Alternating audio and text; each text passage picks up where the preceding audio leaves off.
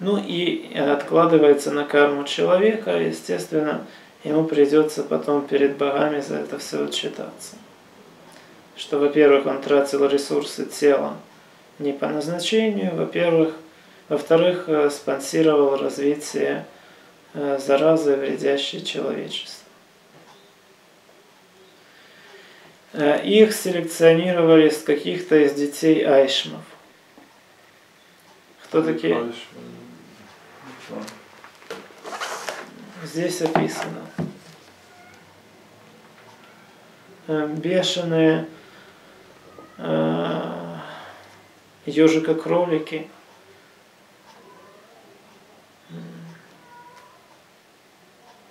Ну, демоны похоти, фактически. Ты уже завезенная Еговой, получается, да? Да. Ну, это материальные, да, живые существа или тонкое материальное? Э, той материальности, которая не осмысляется нынешними людьми.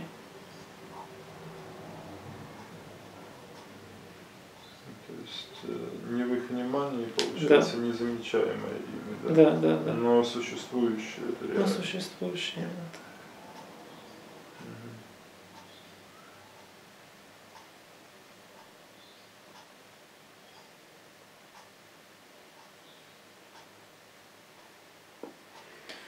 Ну, там для стимуляции убийств он пара разновидностей заразы создал. Там много разной заразы было создано. Счастье в том, что нашим удалось большую часть этой заразы уничтожить на ланке. Когда адамитов с ланки вывели, ланку еще бомбардировали очень сильно. И всю ее южную часть просто разбили в пух и прах. И сейчас ее нету. Старая ланка, она была больше нынешней ланки намного. Фактически у нас сейчас остался только северная часть Ланки.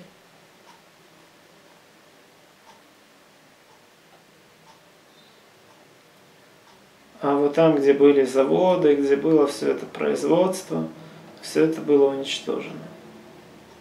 Где там, а там прямо заводы стояли? Ну, построили, да. По производству чего? Этих вот мерзости паразитов, и паразитов, и оружия. Чтобы потом раз распространять ну, по да. земле? Ну да. И оружие? Разное оружие строили. Но я советую Ромаяну хоть чуть-чуть почитать или посмотреть. Правда, если смотреть, то это уже очень скоскофицированное, а, но все равно. Там вкратце дается об этом представление.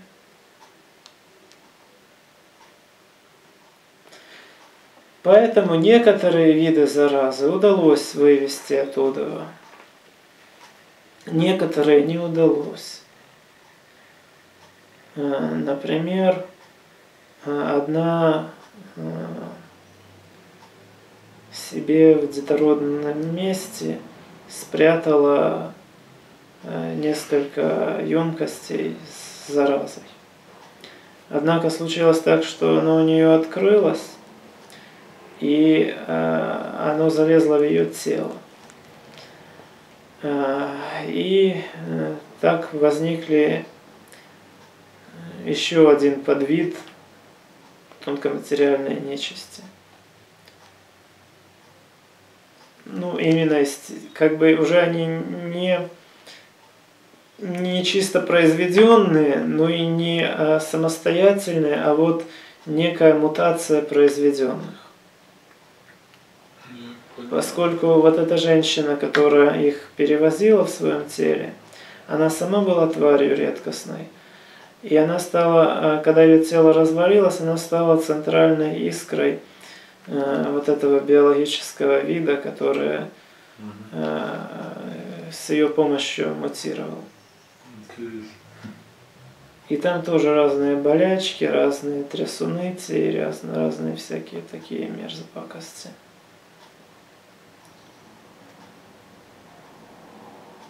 И все это записано, все это отслежено традицией. Рахмат, Ну да, да, да, да, да, которая да, велась. да, да, да, да, да. Да я это все очень так еще сокращаю, потому что, во-первых, половины я сам не помню, а половины и смысла нет сейчас. Раз это самое, в текстах есть имена, названия разновидностей каждого вот этого вида, каждого подвида, каждого вида, их характеристики, что любят, что не любят, как их травить, как их кормить, как их усыпить, и, ну, все, Это что все надо. наши князья, рахманы записывали, изучали, да. для, потомка, для потомков оставляли на табличках. Да. А огромный Чтобы вклад знали, сделал Велмак.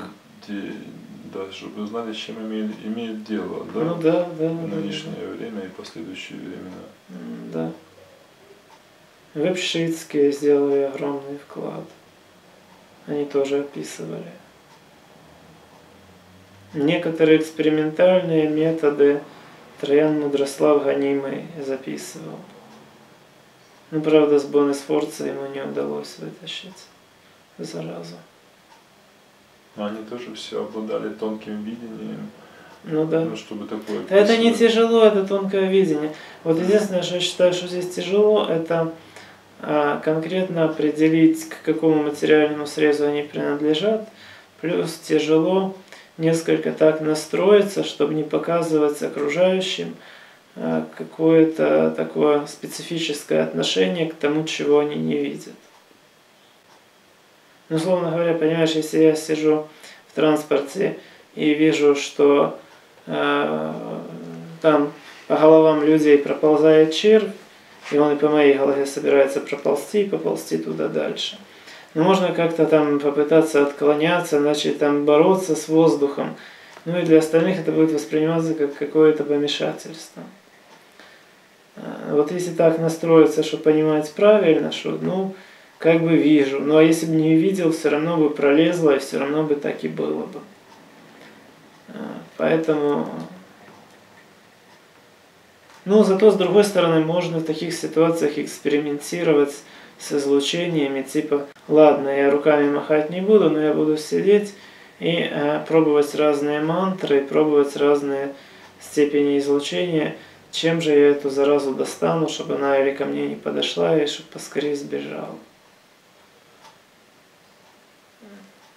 Вот это тоже некая такая... А мантры так влияют, да, на их... э, На кого-то влияют, на кого-то нет, на кого-то нужно экспериментировать, какая именно возьмет. М. Вот, а как электричество на человека влияет? Это тоже такой вопрос, который нельзя ответить. Есть дефибриллятор, есть электрошокер, есть в конце концов телефон, гарнитура, есть электроосвещение, то есть куча есть вариантов, как э, электричество может сыграть ту или иную роль в человеческой жизни. Так же. Вот так и тут нужно экспериментировать с той, какую именно мантру выбрать, и с тем, э, как эту мантру именно, каким путем энергию конвертировать, направляя к этому существу. А там как вот читается мантра, ну, допустим, выбранная, и вектор внимания направляется на это существо, и, соответственно, энергия как бы начинает с ним взаимодействовать. Ну, здесь можно еще это с дыханием несколько связать, можно чисто со зрением связать, можно с э, мысленным построением это все связать. И, э, допустим, читается мантра. И, соответственно, я должен энергию вот эту, которая вырабатывается в разных чакрах, ну, допустим, в э, буй-чакре и в чернобожьей чакре, я ее должен через что-то на это существо направить.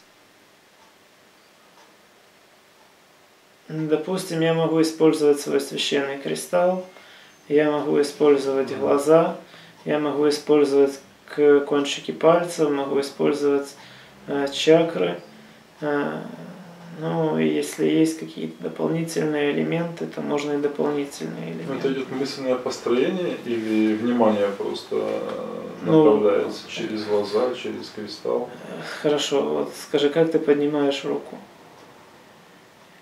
Ну, Ну, это и мысль. И это еще и некоторый опыт, поскольку если ты не знал, как рука поднимается, ну, допустим, люди, которые или потеряли память, или которым приходится заново учиться пользоваться конечностями, то есть э, им заново приходится учиться. То есть вот так навыки постепенно развиваются.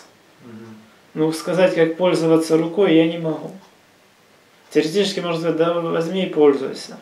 А практически вон люди месяцами в реабилитационных центрах сидят, им ничего не помогает. И они не дураки. Я сам с одним таким общался.